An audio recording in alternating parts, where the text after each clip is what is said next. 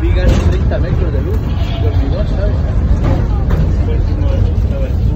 Y de hecho la empresa con la